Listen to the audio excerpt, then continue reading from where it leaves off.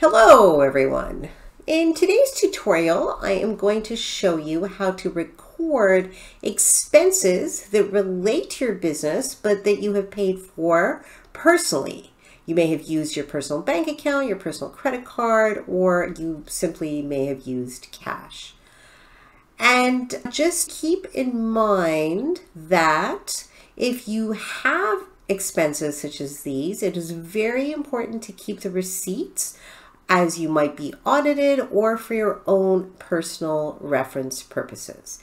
You can keep hard copies of the receipts or you can scan them and save them in an accounting folder or attach them to the transaction as well.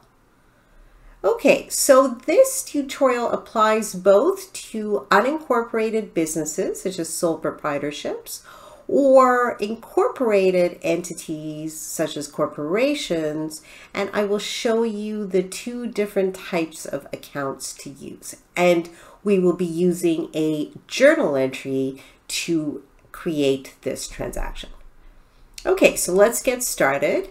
We are going to click on plus new on the left hand side and under other we are going to click on journal entry. So for the journal date, you can either use the date of the transaction or you can use the period uh, if you are entering multiple transactions. So for example, if you have several transactions in August, you could simply choose August 31st uh, but again, just make sure that you have the receipts in case you need to show evidence of these transactions. For the purposes of this example, we're going to assume that the three purchases were made in the month of August. First, you purchased a pen. Second, you paid for a meal from your personal account.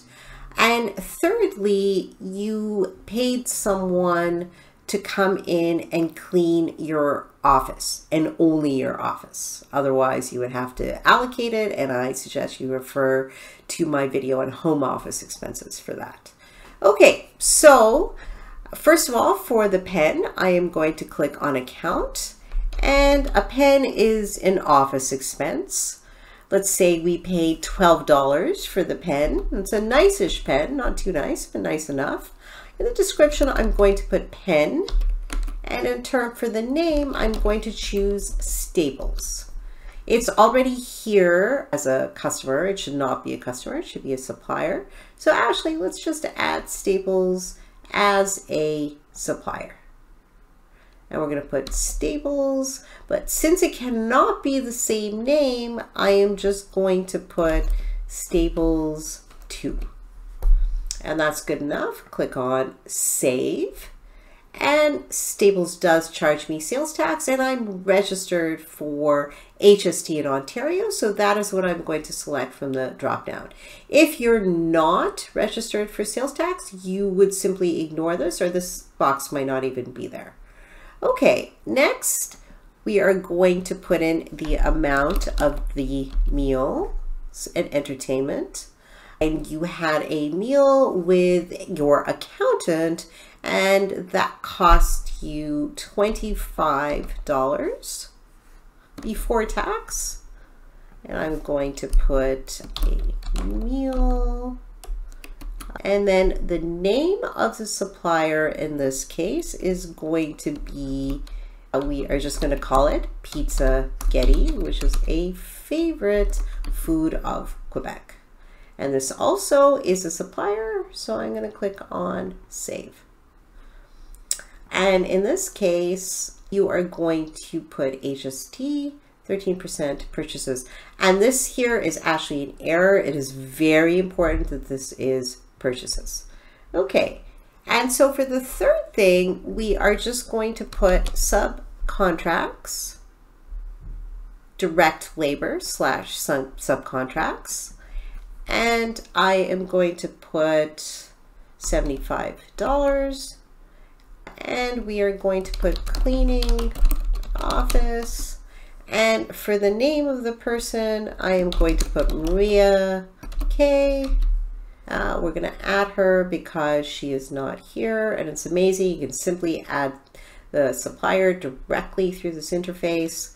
Click on save. And then she is not registered for sales tax, so I am going to choose exempt for purchases.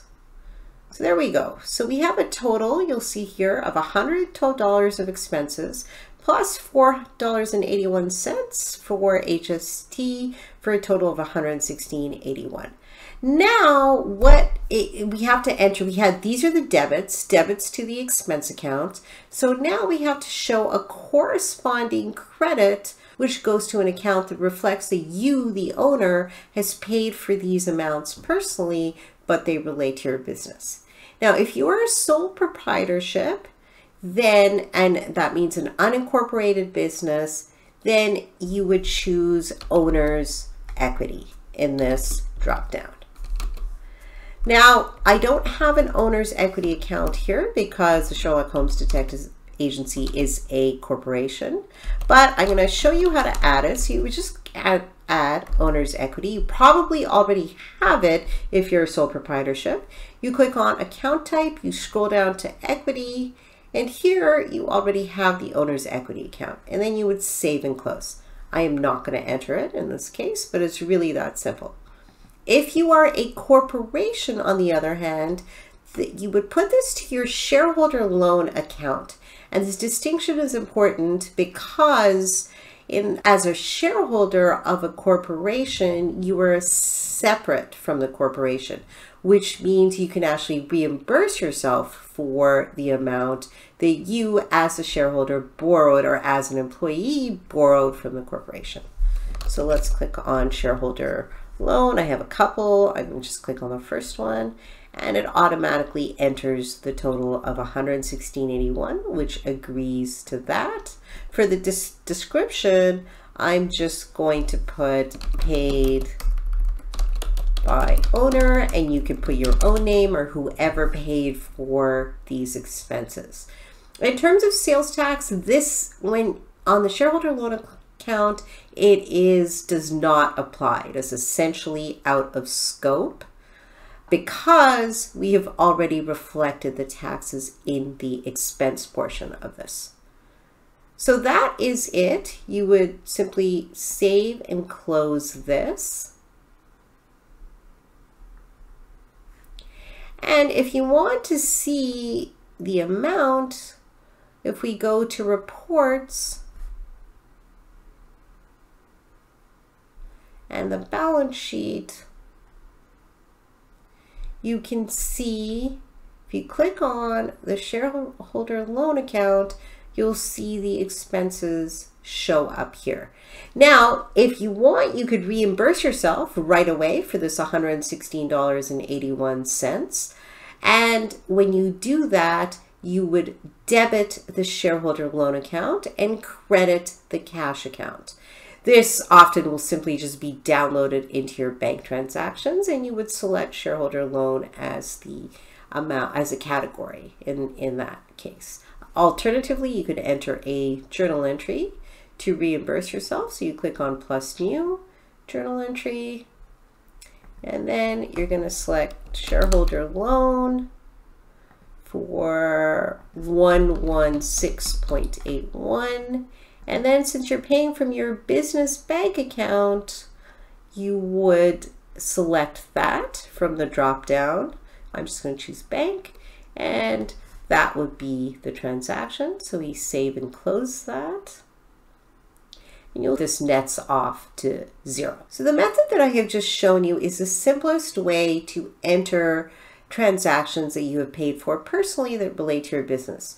There's a couple of other ways of doing this as well. If you have transactions, uh, and if you do this frequently, and ideally you don't, ideally you use your business bank account or your business credit card to pay for your transactions. But you could also set up a separate personal bank account and allocate the transactions through there. And that'll be the subject of another video. If you want to see it, please let me know in the comments and then I will go ahead and make it. So I hope this was helpful. If you have any other questions, please leave a comment. And if you found this video useful, please like and subscribe. and have a great day.